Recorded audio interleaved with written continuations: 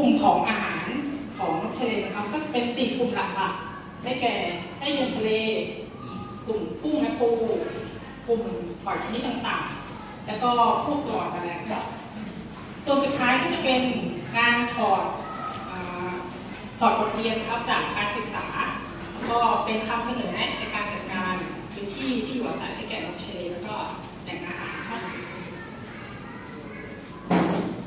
สมุดอันนี้เอาไว้จดเนกเกิดเกินนำสักเล็กน้อยไม่ได้จดครับอะจดเวลาเราไปหาดเลนหรือว่าหาดเกลือครับ เราก็จะเห็นนกชายเลนแล้วก็นกน้ำชนิดต่างๆครับ เดินหากินเอาหัวแล้วก็ปากเนี่ยจุดลงดินแล้วก็ลงน้ำตลอดเวลา อันนี้คือพฤติกรรมการหากินของนกชายเลนตามปกติครับ ซึ่งนกชายเลนเนี่ยเวลาเราไปดูกันส่วนใหญ่เขาก็จะมีการจิกกินตลอดเวลาครับ เนื่องจากมันต้อง นี้ถูกจำกัดเวลาหาอาหารด้วยน้ำขึ้นน้ำลงนะครับทำให้เวลาเราไปดูตลอดเวลาเนี่ยเราก็จะเห็นนกพวกนี้จิกลงตามพื้นครับ แล้วก็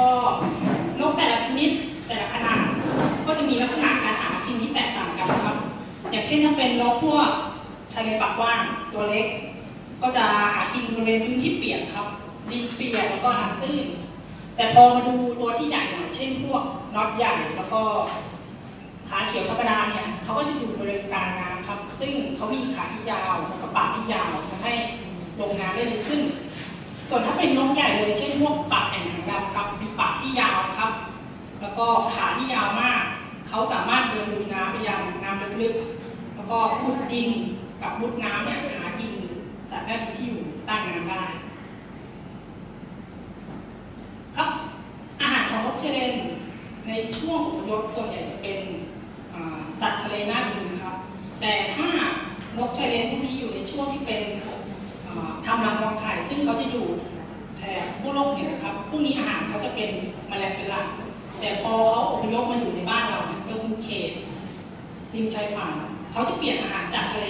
เป็นอาหารอะขอโทษอาหารจากบนบกมาเป็นอาหารในทะเลนะครับ ซึ่งอาหารส่วนใหญ่ผมก็จะยกตัวอย่าง เช่นนกหัวโตสีเทาครับ ตัวเขาจะใหญ่หน่อยก็มีปากหนา เขาก็จะเป็นเส้นเดินทะเลขนาดใหญ่นะครับ ก็ชาเลนปากกว้างก็จะเป็นนกขนาดกลางครับ แต่ว่ามีเขามีปากที่เรียวยาวมาก แต่เมื่อเทียบสัดส่วนอาหารของเขาครับ พบว่าอาหารของเขาจะเป็นพวกกลุ่มหนอนแดงครับ ตัวเล็กมาก ซึ่งที่เหยื่อตัวเล็กเขาเลือกเหยื่อตัวเล็กเพราะว่าพวกนี้มันมีปริมาณจำนวนมหาศาลในดินนะครับเขาก็เลยเลือกกินเหยื่อชนิดนี้ ส่วนถ้าตัวใหญ่ขึ้นมาหน่อยครับก็จะเป็นทะเลขาเขียวลายจุดอีกอยใหญ่ แล้วก็ ขาแดงลายขาแดงลาจุดนะครับเขาก็จะมีเหยื่อที่ขนาดใหญ่หน่อยก็จะเป็นพวกกุ้งปูชนิดต่างๆ ก็บางครั้งเราจะเห็นนกขนาดเล็กนะครับ หากินไส้เดือนทะเลขนาดใหญ่ด้วย เช่น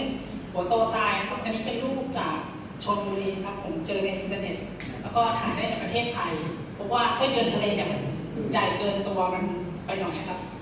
ก็ถ้าเป็นใช้ในปากโค้งที่ปากยาวๆครับมันก็จะใช้ ปากที่ยาวๆครับขุดลงไปแล้วก็ดึงไส้เดือนทะเลขึ้นมาเป็นอาหารครับอันนี้ก็จะเป็นภาพนกชายเลนที่ถ่ายได้ในประเทศไทยผมก็รวบรวมมาจากในอินเทอร์เน็ตซึ่งก็ทำให้รู้ว่านกชายเลนในประเทศไทยเนี่ยมันกินอะไรบ้างครับ อันนี้ก็จะเป็นรูปภาพอ่าทำให้เราเข้าใจง่ายครับ ว่านกแต่ละชนิด แต่ละกลุ่มก็จะมีอาหารที่แตกต่างกันตามความยาวปากที่มันเจาะลงไปได้นะครับ ถ้าเป็นในนกเล็กครับพวกหัวโตทรายกับคอสั้นเทนไว้ก็ปากมันสั้นหน่อยมันก็จะคอยวิ่งวิ่งวิ่งแล้วก็หยุดแล้วก็มองหาอาหารแล้วก็จิกอาหารกินเป็นอาหารครับ ส่วนถ้าปากยาวหน่อยก็เป็นเชลนปากโค้งครับเขาก็จะมีปากที่โค้งทำให้สามารถมุดทรายมุดดินเนี่ยเข้าไปจับพวกปูที่อยู่ในรูได้แต่ถ้าปากยาวหน่อยพวกปากแอ่นหางลายแล้วก็อีกก่อยนะครับ ปากเขาจะยาวมากเขาสามารถ ช้ปากเนี่ยเจาะลงดิน แล้วก็ไปจับพวกเหยื่อที่อยู่ในดินลึกๆได้ยิ่งดินลึกเท่าไหร่เหยื่อมันก็จะยิ่งขนาดใหญ่ครับในส่วนที่สองภาพรวมของการศึกษาผมครับนี้ผมก็จะเอารูปแบบบรรยากาศการทำงานให้ดูนะครับว่า เราทำงานอย่างไรแล้วก็มีการเก็บตัวอย่างสัตว์หน้าที่อย่างไรซึ่ง เพื่อใช้ในการตอบโจทย์อาหารของชาเลนนะครับ อันดับแรกเราก็ต้องมีการเตรียมอุปกรณ์ครับคือเตรียมพวกอุปกรณ์เก็บตัวอย่าง กระบอกเก็บตัวอย่างกล้องดูนกแล้วก็ที่นอนตัวอย่างครับรวมถึงพวกน้ำยาประสาทภาพต่างๆด้วย พอเรามาถึงสถานีศึกษาเนี่ยก็คือบริเวณบ้านปากทะเลครับ สิ่งแรกที่เราต้องประเมินก่อนก็คือระดับน้ำในพื้นที่ศึกษาครับ ในบ่อที่ผมศึกษาเนี่ยมันแตกต่างจากบ่ออื่นก็คือเขามีการเปิดประตูน้ำครับให้น้ำขึ้นน้ำลงตามปกติ ดังนั้นถ้าเรามาไม่ถูกช่วงเนี่ยน้ำมันจะท่วมบ่อครับทำให้เราไม่สามารถเก็บตัวอย่างได้ เราจะทำงานก็ต่อเมื่อน้ำลงต่ำต่ำสุดในภาพนะครับก็พอน้ำลงนะครับ เราก็จะมีการนับนกในพื้นที่ศึกษาก่อน ก็อาจจะมีการเซอร์เวย์พื้นที่ด้วยครับ อันนี้ก็เป็นรูปสถานีครับคือ อุปกรณ์เราเยอะมากในการเก็บตัวอย่างครับ เราก็ต้องมีกระต๊อบไว้ใช้ในการวางอุปกรณ์แล้วก็เก็บที่เขาของเรียนครับถ้าไม่มีกระต๊อบหลังนี้อยู่เขาทำงานการทำงานผมก็ลำบากเหมือนกันครับก็ต้องขอบคุณที่มีกระต๊อบอยู่งานที่พี่ก็ทำสองคือการวิจัยครับ ทีนี้เราพอวางอุปกรณ์แล้วก็มีฐานที่เก็บของเนี่ยแล้วก็เริ่มลุยงานกันได้เลยก็คือมันหนูเราไปจะเก็ใช้บปูคอหรือกระบอกเก็บตัวอย่างนะครับ หรือท่อ PVC เนี่ยขุดลึกลงไป 15เซนติเมตรนะครับ ซึ่งเป็นระดับความลึกที่เพียงพอต่อการศึกษาอาหารของชายเลนนะครับ เนื่องจากความยาวที่ยาวที่สุดของลมชายเลนก็จะเป็นพวกอีกอนนะครับ ก็คือลงได้ไม่เกิน 15เซนติเมตร ดังนั้นในช่วง 15เซนติเมตรเนี่ย เราก็จะรู้ว่าอาหารที่นกกินมีอะไรบ้าง แล้วพอเก็บสัตว์หน้าดินมาแล้วเนี่ยเราก็ทำการใส่ถุงให้เรียบร้อยครับ แล้วก็รีบพยายามรีบขนตัวอย่างดินเนี่ยขึ้นฝั่งแล้วก็มาลงแดดให้มากที่สุดนะครับเนื่องจากในภาวะที่แดดร้อนเนี่ยจะทำให้มีผลต่อตัวอย่างและตัวอย่างอาจตายได้ครับมันก็อาจจะเก็บปูแล้วก็พุ่มดินอื่นๆมาวิเคราะห์ธาตุอาหารนะครับในพื้นที่ศึกษา เพื่อตอบโจทย์ว่าสภาพความเป็นอยู่ของสัตว์หน้าดินเนี่ยเป็นอย่างไร หลังจากเก็บตัวอย่างมาแล้วก็ต้องทำการล่อมตัวอย่างครับเพื่อให้ดินเศษซากพืชต่างๆเนี่ยหลุดออกจาก ตัวอย่างให้มากที่สุด เนื่องจากพวกสัตว์หน้าดินเนี่ยครับก็ตามชื่อเลยเขาจะอยู่ในดิน เพราะฉะนั้นเวลาเราศึกษาเนี่ยพวกดินเนี่ยมันจะทำให้บดบังพวกสัตว์หน้าดินเหล่านั้นเนี่ยซึ่งมันยากมากถ้าเราไปสองในห้องปฏิบัติการครับเราต้องทำการล้างตัวอย่างเราก่อน ก็พอล้างเราก็จะเป็นรูปแบบเนี้ยครับก็มีพวกไส้เดือนทะเลต่างๆซ่อนอยู่ก็มีกุ้งข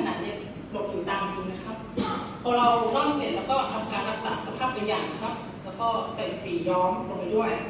เพื่อทำให้ง่ายต่อการดูในห้องปฏิบัติการต่อไปครับ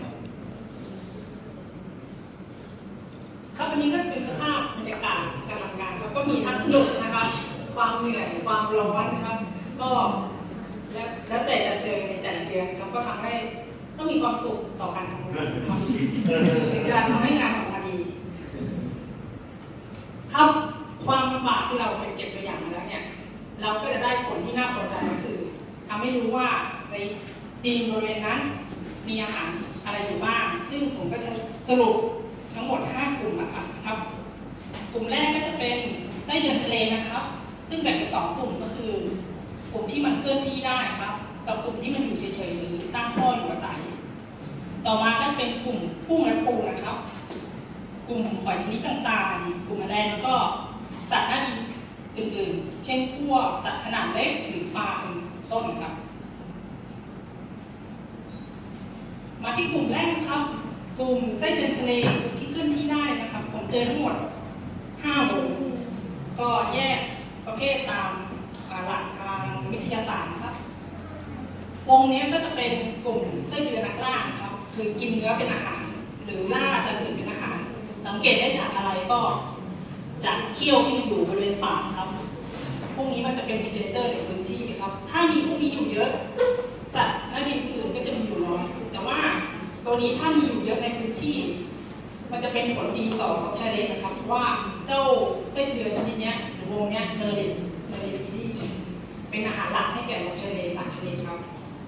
ตัวใหญ่แค่ไหนครับตัวใหญ่อ่าพบตั้งแต่ 0.5มิลลิเมตรไปจนถึงเกือบ 20เซนนะครับก็คือมันยาวครับ มันยาวมากกว่า ตัวใหญ่กว่าตัวไม่ใหญ่มาก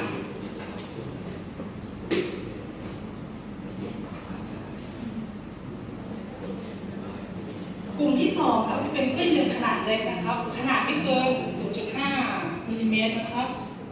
ก็ถ้าเจอตัวนี้เยอะมากในบ่อเนี่ย ก็จะพบว่ามีเปริมาธาตุอาหารสูงครับ แล้วก็ออกซิเจนต่ำซึ่ง ถ้าเราเจอตัวเนี้ยส่วนใหญ่ก็จะเจอคู่กับพวกหนอนแดงหรืออาที่เราเอามาใช้เลี้ยงปลาครับพวกบ่อยลิ้นหนอนเค็มครับอาศัยอยู่ด้วยกันต่างกันอันไหนครับมันต่างกันเป็นหรออันนี้เป็นถ้าต่างกันยังไงคือ อันนี้เป็นกลุ่มไส้เดือนทะเลเลยครับ แล้วถ้าหนอนแดงก็คือกลุ่มของตัวอ่อนแมลงครับซึ่งหนอนแดงก็จะเจอในน้ำจืดนะแต่พวกไส้เดือนทะเลไม่เจอในน้ำจืดนะครับอันนี้ก็เป็นไส้เดือนทะเลชนิดหนึ่งนะครับ แต่ว่าตัวนี้เป็นกลุ่มกองกินอาหาร แล้วถ้าเจอตัวนี้เยอะๆเนี่ยก็แสดงว่าปริมาณธาตุอาหารเนี่ยมีสูงเช่นกันครับอันนี้ก็จะเป็นอีกชนิดหนึ่งครับแต่ผมเจอตัวอย่างน้อยมาก ก็หัวมันจะอยู่ตรงบริเวณนี้ครับนี่ก็เป็นส่วนหาง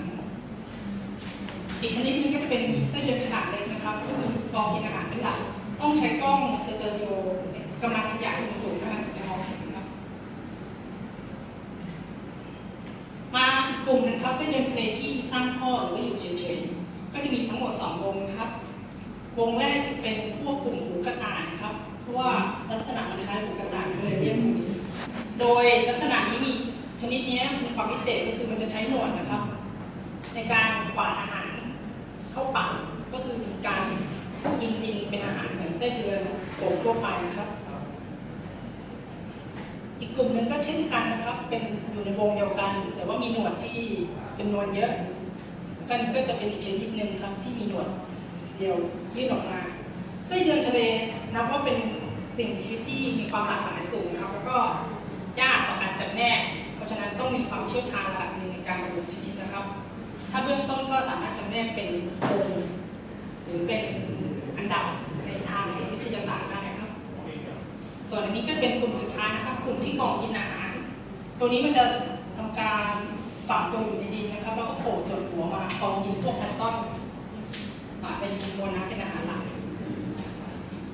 ครับ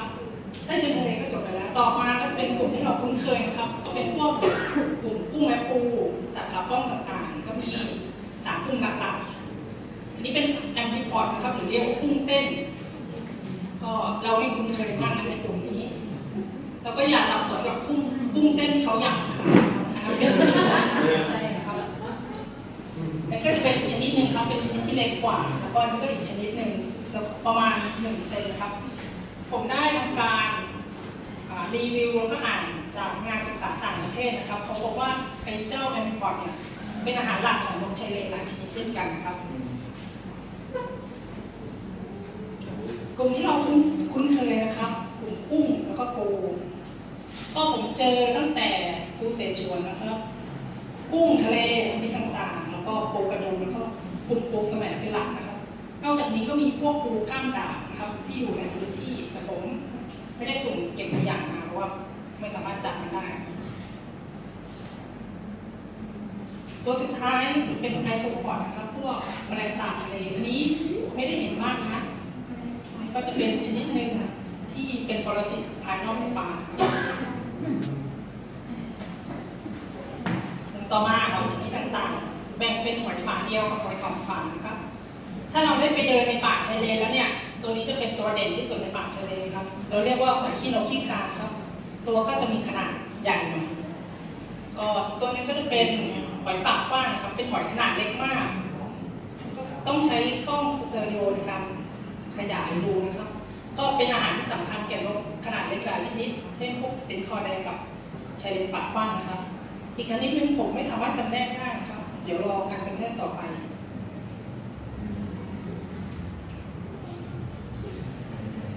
กลุ่มหอยสองฝาครับ อันนี้ผมไม่แน่ใจชื่อไทยนะครับ แต่มันอยู่ในวงคัสไปลาเรดี้อันนี้เจอเยอะมากในพื้นที่ศึกษาของผม แล้วก็ลองมาก็จะเป็นเทลเนียนะครับ ก็ไม่มีชื่อไทยเช่นกัน อันนี้หอยตลับนะครับเจอในพื้นที่ด้วยแล้วก็กลุ่มของหอยแมลงภู่นะครับก็มีหอยสองฝาที่ผมไม่สามารถจำแนกชนิดได้กลุ่มสุดท้ายนะครับนับว่าเป็นอาหารนกที่สำคัญสูงเลย คือกลุ่มของตัวอ่อนแมลงครับงานการศึกษาหลายชิ้นพบว่าตัวอ่อนแมลงเนี่ยเป็นอาหารให้แก่นกชายเลนหลายชนิดนะครับ ส่วนใหญ่นกชเลนจะชอบกิน กลุ่มนี้เป็นหลักนะครับก็คือกลุ่มของดอกแดง อันนี้นกผมรีวิวมาก็คือเป็นอาหารที่สำคัญของนกชายเลนหลายชนิดนะครับ แล้วก็ขนาดปากแผ่นหางดำนะครับ ที่ตัวใหญ่ๆครับก็กินเจ้านี่เป็นอาหารหลักเช่นกันครับเวลามันมาอยู่ในอาหารเรือซึ่งอันนี้ผมรีวิวมาจากการศึกษาต่างประเทศนะครับ ก็ในการศึกษาผมก็พบมากเช่นกันแล้วก็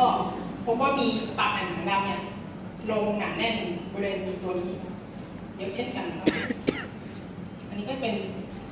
ตัวเต็มวัยนะครับอันนี้เป็นระยะดักแด้ก็ระยะตัวอ่อน อันนี้ก็จะเป็นตัวอ่อนของแมลงวันนะครับนี่ระยะดักแด้มีระยะตัวอ่อนครับ เป็นที่นมเค็มครับ ตัวนี้ที่กัดคนเจ็บๆตัวอ่อนแมลงวันเช่นกันครับ จะเป็นตัวอ่อนแมลงวันขายาวครับ ผมเจอแค่ระยะตัว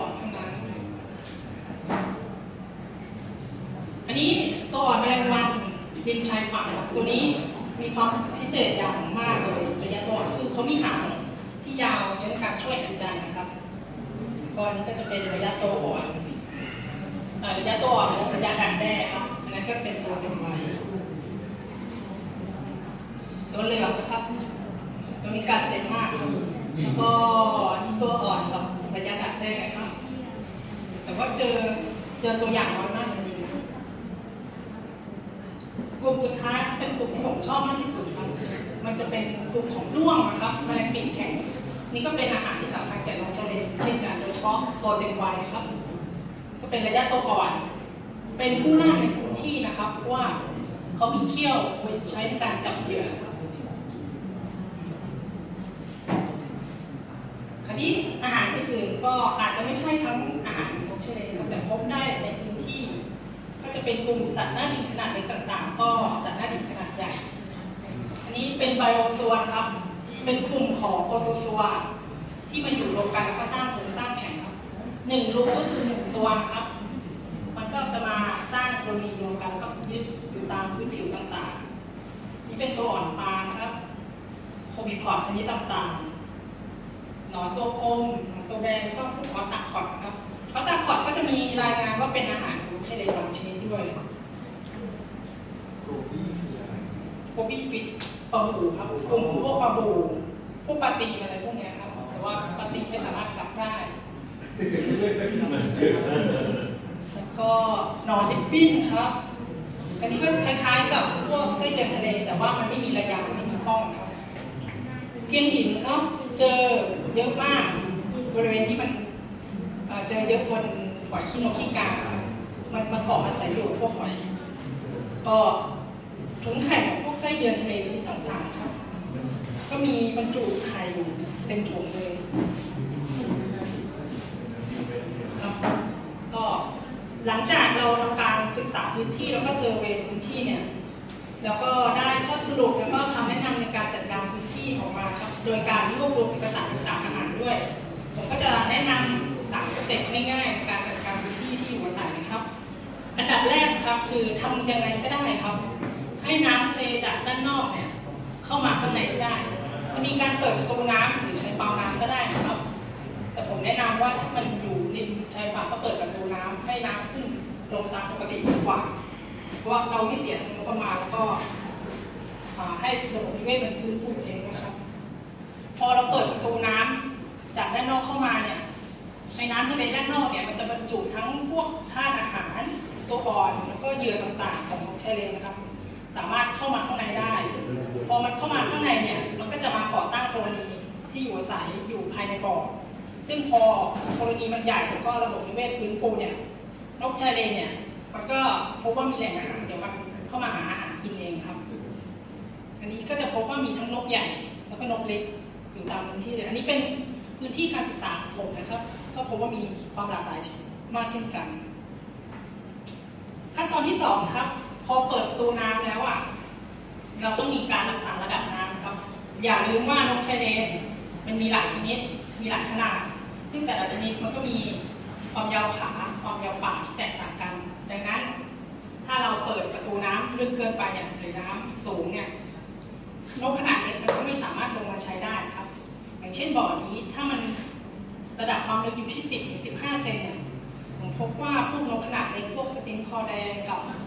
หัวโตทรายเนี่ยมันไม่สามารถลงหากินได้ จะเจอแค่พวกตีนเทียมกับปากแผ่นหางดำที่มีจำนวนเยอะมากๆครับ เช่นเดียวกันครับถ้าเป็นน้ำตื้นเกินไปพวกนกใหญ่อย่างปากแผ่นหางดำก็ไม่ลงหากินนะครับเพราะว่าน่าจะมีผลต่อการหาอาหารเวลาขุดดินของมันครับซึ่งถ้าน้ำตื้นก็จะเจอพวกติดคอแดงกับชายเลนปากกว้างเนี่ยจำนวนมากเลย ยิ่งบ่อที่มีความหลากหลายของความลึกก็จะยิ่งดีมากนะครับก็ถ้ามีทั้งน้ำตื้นกับน้ำลึกเลยเนี่ยก็จะทำให้นกชายเลนเนี่ยมีความหลากหลายเช่นกันพอนกชายเลนเนี่ยมีจำนวนสูงเช่สูงมากเนี่ยมันก็จะมีพวกนกหายากเนี่ยปรับปนอยู่ในนี้เพราะมันรู้สึกปลอดภัยนะครับดังนั้นถ้านกชายเลนมีเยอะในพื้นที่เนี่ยนกพวกนกหายากก็อาจจะเจอได้ในพื้นที่ด้วยเช่นกันครับ อันดับสามครับ ไม่ต้องไปทำอะไรต่อครับ ปล่อย ให้มันฟื้นฟูตัวของมันเองครับ โดยเราต้องมีการติดตามผลต่อเนื่องแล้วก็ดูว่ามันมีอะไรเข้ามาแทนที่บ้าง เช่นในการศึกษาของผมเนี่ย เวลาไปในทุกๆเดือนผมก็จะมีการจดบันทึกว่าเจออะไรบ้าง เช่นในช่วงเดือนแรกๆผมก็เจอสาหร่ายไส้ไก่นะครับออยู่ในปริมาณสูงเลยซึ่งพวกนี้ก็จะเป็นอาหารให้แก่พวกหอยต่างๆแล้วก็ไส้เดือน นิดต่างๆ พอมันมีพวกหอยไส้เดือนนกมันก็จะมีอาหารแล้วก็ลงหากินได้ครับส่วนในเดือนต่อมาก็จะมีพวกปูเกิดขึ้นนะครับปูชนิดต่างๆที่ว่ามีธาตุอาหารเข้ามาให้มันกิน สุดท้ายนะครับที่ผมภูมิใจที่สุดครับ คือเจอแหล่งหญ้าทะเลในบริเวณที่ผมเก็บตัวอย่างครับ ซึ่งเมื่อก่อนมันเป็นบ่อนาเกลือที่ถูกทิ้งร้างครับ มันไม่สามารถมีหญ้าทะเลขึ้นได้ ดังนั้นการพบหญ้าทะเลในบ่อที่ผมเก็บตัวอย่าง ก็คือพวกนี้สามารถเข้ามาเจริญเติบโตได้ในบ่อครับถึงจะเป็นกอเล็กๆ ผมก็รู้สึกดีใจนะครับ เพราะว่าระบบนิเวศมันเริ่มฟื้นฟูแล้ว แต่ในช่วงเดือนหลังๆของการเก็บตัวอย่างครับ คือช่วงประมาณฤดูร้อนน้ำมันเข้ามาไม่ถึงครับ เพราะว่าน้ำลงน้ำขึ้นเนี่ยขึ้นตื้นมากทำให้น้ำจากด้านนอกเข้ามาข้างในไม่ถึงก็บริเวณบ่อข้างในก็แห้ง แห้งเฉื่อยไปเลยครับ ดังนั้นเวลาน้ำแห้งไปเนี่ยนกชายเลนก็ไม่มีหากิน นกชายเลนก็ไม่ลงใช้หากินนะครับ ก็บอกข้างๆก็จะเป็น อันนี้ผมเจอระหว่างการศึกษาครับจะมีบอกข้างก็เป็นกอหญ้าทะเลขนาดใหญ่ครับ ผมรู้สึกตื่นตามากเลยเพราะว่าหญ้าทะเลเนี่ยมันขึ้นหนาแน่นมากเพราะว่าอ่าวไทยตอนในเนี่ยไม่เคยเจอแหล่งหญ้าทะเลที่สมบูรณ์นะครับ โดยอ่าวไทยเราเจอแค่หญ้าอากาศเค็มครับแล้วก็หญ้าพวกนี้ก็จะเป็นที่อยู่อาศัยแก่สัตว์ด้านดินชนิดต่างๆด้วยนะครับ ครับเอกสารสุดท้ายนี้ก็ขอขอบคุณทีมเก็บตัวอย่างนะครับถ้ามีวีทีมเก็บตัวอย่าง งานผมก็ไม่สามารถสำเร็จได้ด้วยดีนะครับเพราะว่ามันเหนื่อยมากวันนี้ก็ขอขอบคุณงาน Thailand Bird Fair ครั้งที่17 นะครับ แล้วก็ขอขอบคุณทางสมาคมที่ให้ที่พักอาศัยระหว่างเก็บตัวอย่าง ก็ขอขอบคุณเจ้าของนาเลือนะครับที่คอยให้สนับสนุน เรื่องข้อมูลในการจัดการนาเกลือก็หนองเชลนด้วยนะคะขอบคุณครั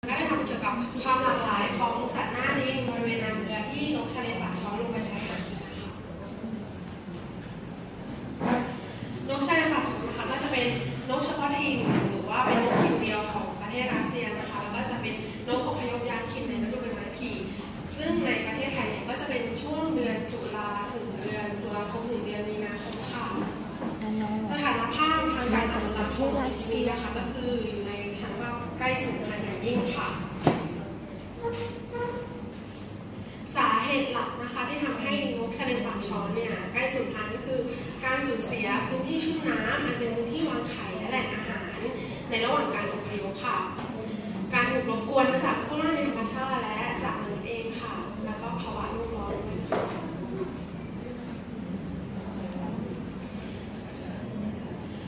นกเอ่อนกเชิญปากช้อนนะคะ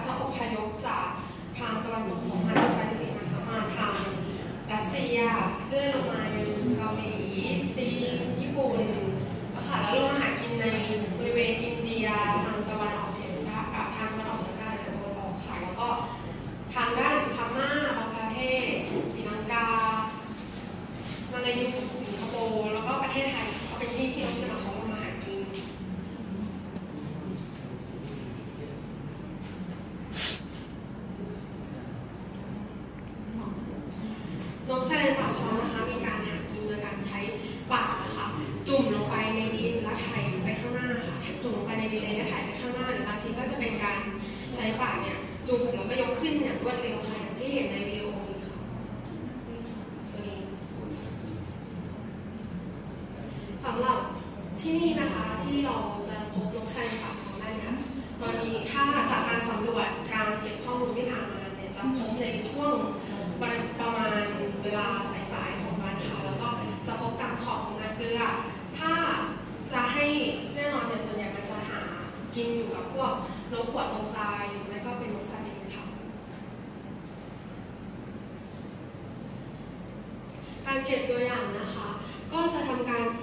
ดินสำรวจหานกคำว่านกเนี่ยลงหากินในบริเวณนาเกลือบริเวณไหน แล้วเราก็จะทำการเก็บตัวอย่างในทุกๆระยะ 5 เมตรค่ะหลังจากจุดที่ลงถุงกันเรื่อยออกไปนะยะ5เมตรจากนั้นนะคะจะใช้พวกขุดดินค่ะเป็นขนาดหนักใส่กระชาเตียงร่อนหรือ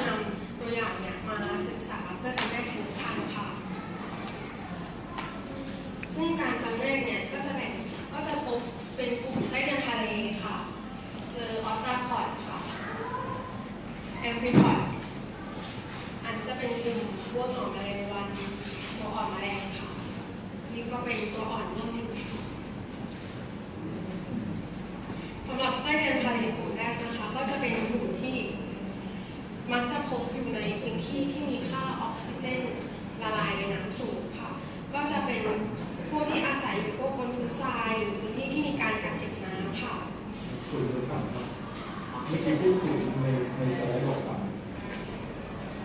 อ๋อ คืออันนี้หมายความว่า มีความสามารถ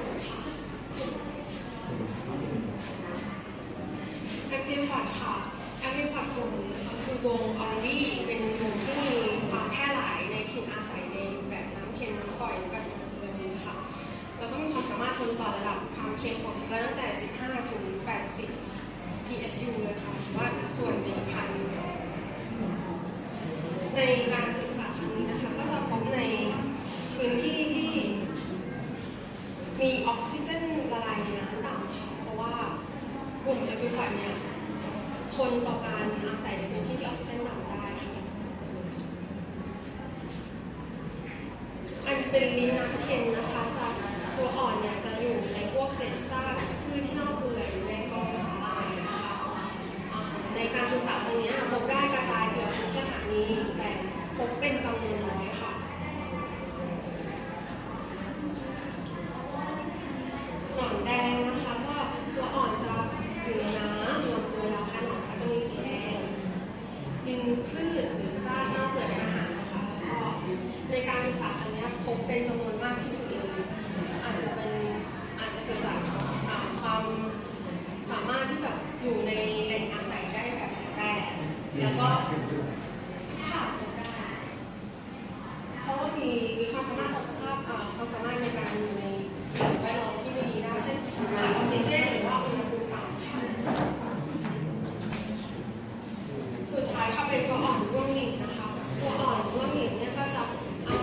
ศัยอยู่ตามพื้นที่น้ำตื้นเพราะว่า